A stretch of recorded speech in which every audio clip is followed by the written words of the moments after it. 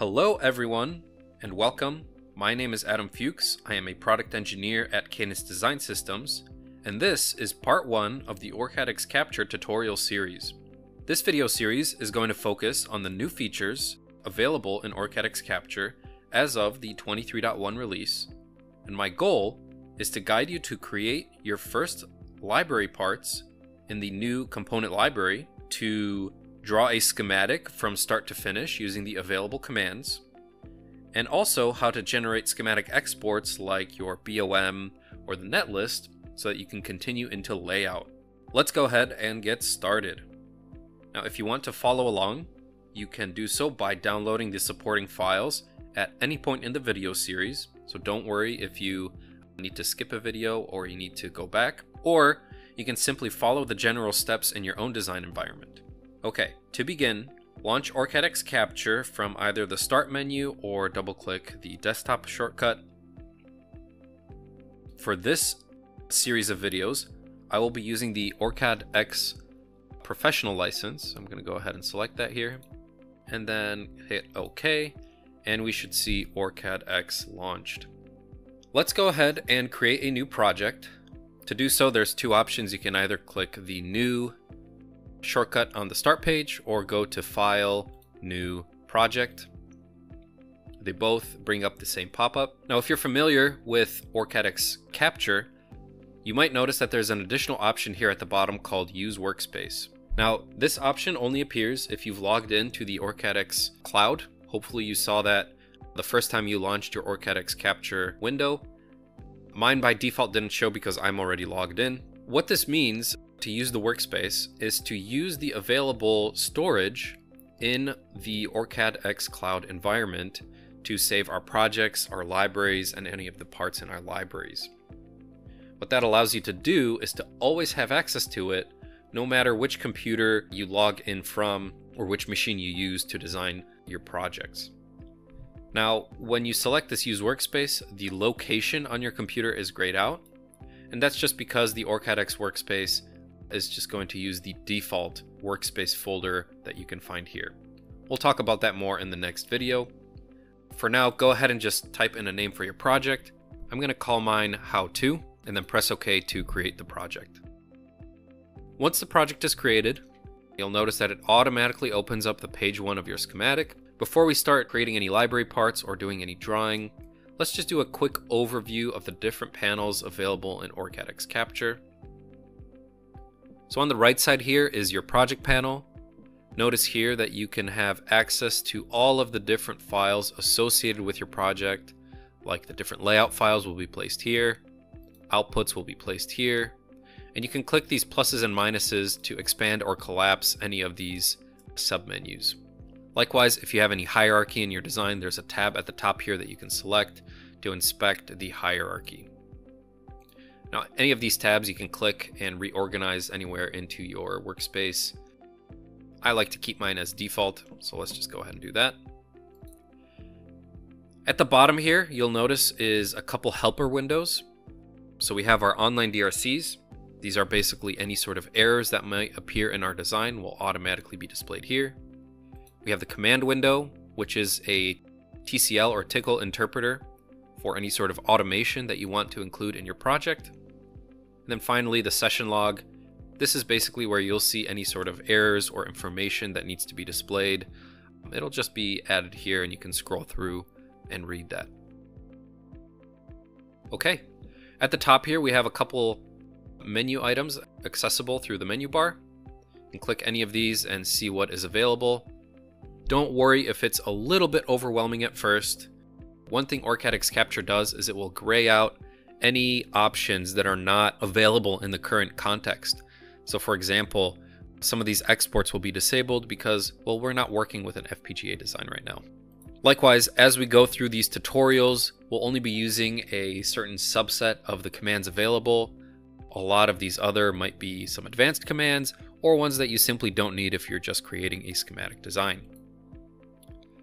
At the top here, there's a couple icons. These are basically just quick access icons to the same commands that you can access through the menu at the top here.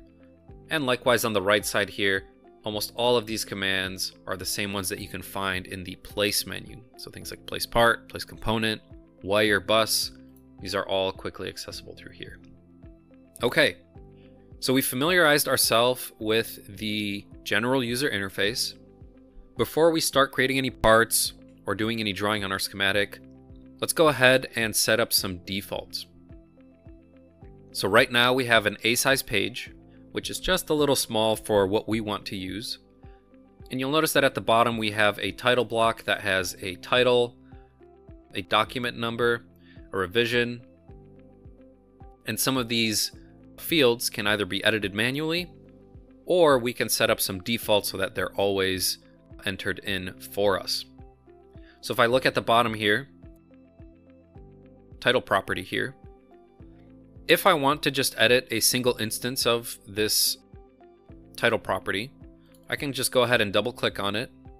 And you'll notice that we get this pop-up which says that we can change the name of the title property and set the value to, for example, how to video. There's some additional font options on the right here if you want to change that, but I already have my default set. So see that the title got changed to how to video. Now, if we were to add a new page, we would have to then enter that in manually again, which can become quite tedious. So let's take a look at how to change that default. Go into the options at the top and select Design Template. From the Design Template window, go into the Title Block tab, and let's set our title to How to underscore videos. If your title block supports things like the organization name and the organization address, maybe a cage code, you can fill that information in as well. For now, I'm just going to set the document number to 1.0 and the revision to A. If you want to change which title block you're using, you can access it through the install hierarchy and tools, capture, library, and then there's a library called capsym.olb. We won't worry about that for now. Let's just continue to use this title block 0. And then I also want to change the default page size. So in the page size tab, I'm just going to select B and press OK. Now, those are defaults that will only be used as we add more pages into the design. To do so, in the project panel on the left here, go ahead and expand schematic 1. You'll notice that we only have one page called page 1 right now. I can right click here and select new page. It's going to be called page 2 and press OK. Now if I open page 2, you'll notice that right away the page is larger and that some of that additional information that we entered into our design template is automatically filled in here for us. Things like the date that will automatically be set by the tool and the sheet numbers, so right now page 2 is showing sheet 1 of 1, that will be actually set in the annotation step, which we'll talk about later. Now, if we want to edit page 1, we have a couple options. One is that we can right click on page 1 and select schematic page properties and manually set the page size, as well as if we want to change anything about the grid or miscellaneous options, we can do so here. But instead, what we're going to go ahead and do is simply delete our page one, use our page two as our new page one. To rename our page two, do a right click and select rename. Instead of using the page one name, I'm actually going to call this the power page, as we're going to have three pages in our schematic. For this schematic, we're going to have a power page, and let's go ahead and add the two other pages. There's going to be a micro page for the microprocessor, and then one more page for the peripherals. Now at any point we can actually reorder these pages if we need to, but for now, let's go ahead and save all of these pages.